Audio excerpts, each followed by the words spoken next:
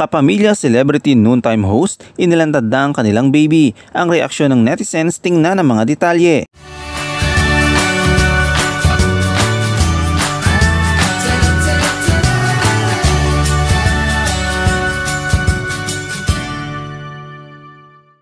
Mixed reactions ng mga netizens ang lumabas sa social media kaugnay sa bagong miyembro ng pamilya ng dalawang celebrities na ito na bahagi ng isang noontime show sa ABS-CBN.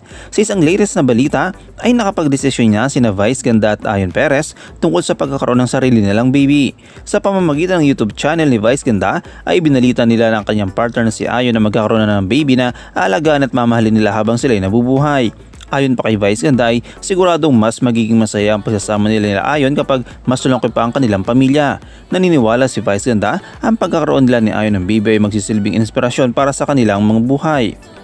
Sa kanyang pahayag ay sinabi, Siyempre kapag wala ako, siyempre mas kailangan mo nang nasa kwarto, yung binabantayan mo. Gusto namin magkabibi para layong sumaya, yung baby namin para mas mapag-share ng saya tas mayroong magpapasaya sa aming bago. Meron kaming lalambingin, meron kaming mamahalin, aalagaan para lalong maging ang life. So we have plan to have a baby para mas gumandang mundo. Kapag mas maraming masaya, mas magandang mundo. Para happy, dadagdagan namin ng member ang family namin para lumakalaki naman ang pamilya namin kasi dalawa lang kami. Sa bandang huli ng vlog ay binandera na magjowa na magampo na sila ng black and white Pomeranian na tinuturing daw nila talagang parang tunay na anak. Wala namang nabanggit kung kailan nila makukuha ang aso at kung magiging pangalan nito. Kung matatandaan noong October 2022 ay pinagtibang ni Vice Ganda at Ayon Perez ang kanilang 4th anniversary as a couple. Nagpakasal sila sa Las Vegas noong October 2021.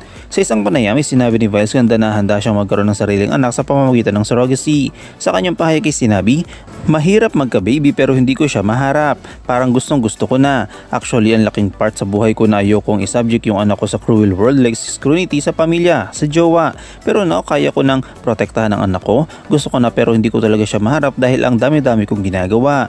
Hindi lang naman siya ang magdesisyon hinggil sa usaping ito dahil kailangan din niyang isaalang-alang ang magiging salobi ng partner niyang si Ayon Perez. Sa katunayan, may mga pagkakataon pa nga na hindi siya nasusunod ng kanyang schedule dahil sa dami ng kanyang commitments. Idagdag pa nga rito ang ang mga pinagpatakbo niyang mga negosyo.